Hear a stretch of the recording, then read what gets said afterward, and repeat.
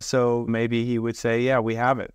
What is his test? His test was basically if you're sitting in a different room and you're interacting with a panel of humans and machines, and you don't know which one is a human, which one is a machine, and you're interacting through, let's say, typing things in, so the interface isn't uh, belying the fact that it's a human or a machine.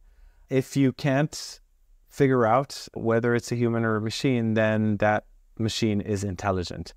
When you read the paper, when when he talks about this, it's like this is a super smart guy that came up with the fundamentals of AI as well as computing and everything.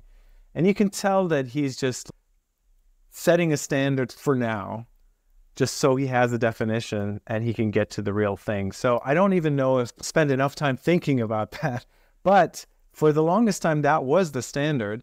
And uh, that is met today, easily met. Like th- these generative AI systems can trick you into th- believing you're interacting with a human. So if that was the definition for AGI, we're there already.